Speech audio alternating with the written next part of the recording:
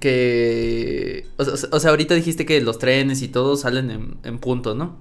Y siento Sí. que eso habla de lo mal acostumbrados que estamos acá de este lado a de que nos vemos a las 10 y que llegas diez y media, ¿no? A Eso dos. a mí en lo personal no tienes idea cómo me caga. Sí.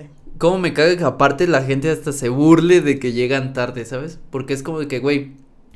O sea, te lo puedo postar. Si ahorita yo le mando a mis amigos, oigan, ¿quién quiere ir a una fiesta mañana a las 3?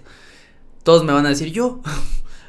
y te lo apuesto que mañana me van a decir, no sé, de 5, 4 me van a decir, es que ya no puedo, es que ya no puedo. Nada más por hablar a lo menso, por no Sí. tenerle como respeto al compromiso, ¿sabes? O sea, a todos aquí se les hace fácil. Ay, mejor este llego una hora después y ahí que me esperen. O llegué 20 minutos tarde porque me hice pendejo, ¿no? Y pues ya que se chinguen ellos. Siento yo que en general estamos muy mal acostumbrados a eso.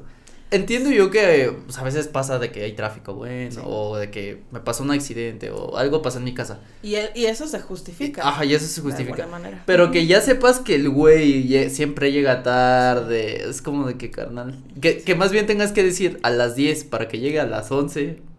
Este, porque sabes que se tarda una hora en llegar y entonces a los demás sí los citas a las 11. Ujú.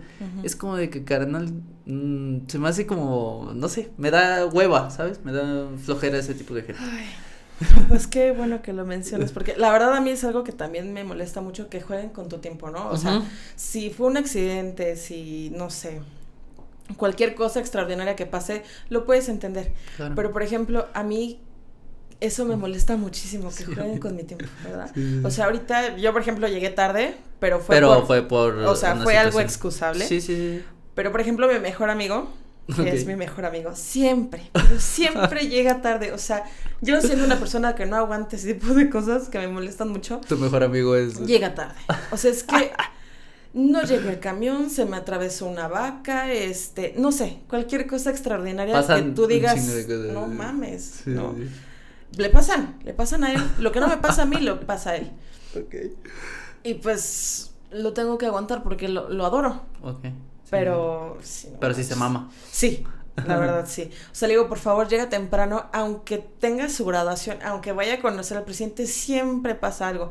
Y no son de 10, 15 minutos, es de 30, 2 horas. Sí, no. O sea, una vez me, me dejó esperando casi dos horas en el metro. No manches. Y pues dije, no, no Sí, te mames, güey. Qué huevo. Y yo, pues con el semblante que tengo de que todo el mundo me caga, pues cuando llego, pues yo lo quería matar, ¿verdad? Porque, o sea, son dos horas que pude haber dormido, que pude haber ido al súper, que cualquier otra cosa y dos horas perdidas ahí en el metro. No, aparte, estás dos horas esperando por alguien, o sea, así. Sí. Carnal, no mames. Sí. Y luego que no conteste el teléfono. Ajá, aparte de todo que se hagan Sí. güeyes, ¿no? De que Sí, ya voy, sí, ya voy. Eso no, no manches. ¿Cómo? Sí, ya mira, estoy aquí en cinco minutos. Digo, no es cierto, esos cinco minutos hacen tres horas. Sí, sí, sí. Es- Está, está a mí no me gusta, a mí sinceramente Es horrible. me caga y me caga porque tengo mucha gente cercana que es como de que entiendo, no sé, por ejemplo, digamos, nos vamos a ver en Bellas Artes y vivo en esa. Digo, entiendo que vayas a llegar 10, 15 minutos tarde, ¿no? O Se sea, vienes lejos. Pero dices media hora, carnal, yo siento que a menos que sea algo extra, yo siento que la neta te estamos haciendo, güey. Llámalo, es que me bañé y no sé, este salió mi canción favorita y me hice más pendejo de lo normal. Llámalo lo que quieras, pero para mí estás este haciéndote, güey. Y entonces que llegues y digas, "No, es que pasó esto y esto", pero nada más excusándolo, pero como para quedar bien, no que realmente te haya pasado, sí te molestas, ¿no? O sea, Sí, yo sí digo, güey, pero dices, güey. O sea, quedamos en algo y más cuando, por ejemplo, lo, lo planearon con tanto tiempo de anticipación. A lo mejor dices, no mames, o sea, no juegas con mi tiempo. Si dices, no, pues voy a llegar tarde, pues mejor dime, ¿no? Sí. Y ya pues, nos vemos una hora después. O de plano no nos vemos. Una vez me pasó que invité a un chavo al podcast. Este, o sea, digo, sin rencores, no me cae mal, pero haz de cuenta que me le dije, no sé, puedes el domingo, eh, sábado o domingo, un día así le dije. Me dijo, sí, no te preocupes, este, ahí nos vemos. Este, Y de hecho por el podcast descubrí que la gente, a la gente le tienes que preguntar un día antes. Porque si no preguntas, resulta que se les olvida y así, ¿no? Te digo, es una verdadera mamada porque nada más contestan por contestar. Pero bueno, ese es otro Sí. tema. Este, y me dice, sí, este, te veo. Y pues le mando un mensaje un día antes, ¿no? Oye, ¿qué onda? ¿Qué tal? Si vas a poder mañana. Y me dice, no, es que es el cumpleaños de mi papá. Este, y no voy a poder. Y yo de, no seas mamón, güey. O sea, lo que pasa es que si me dicen que sí, pues yo ya reservo ese día y ese horario. O sea, si me hubiera dicho que no desde el principio, no pasa nada. O sea, reagendamos otro día. Pero puedo invitar a alguien en su lugar. Sí.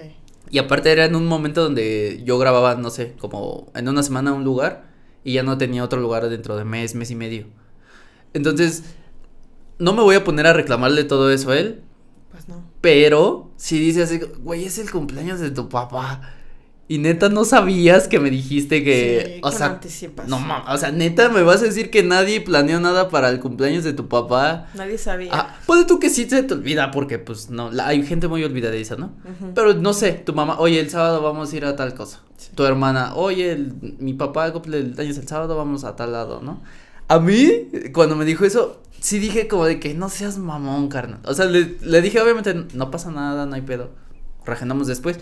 Y lo invitaría de otra vez genuinamente y no le reclamaría por eso. Pero, lo, o sea, lo estoy contando porque a veces salen cosas que dices, Sí.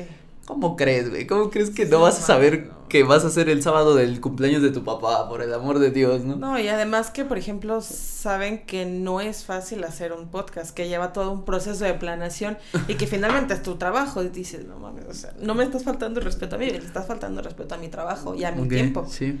Entonces ahí es cuando te digo, no sé, como que la gente se lo se toma muy a la ligera los compromisos en general, aquí en el país. Y entonces me imagino que sales y ya te das cuenta que no en todos los lados es así Mm, y terminas perdiendo tu son- tren. Son más cumplidos, sí. No manches. Pero pues eso te enseña a ser más cumplido, a ser más eh, puntual. Sí, sí, sí. Sí, A decir que si es a las 10, a a las las 10, 10, sí. no a las 10 y media, a las, no, no, a las Sí. 10, un puntito.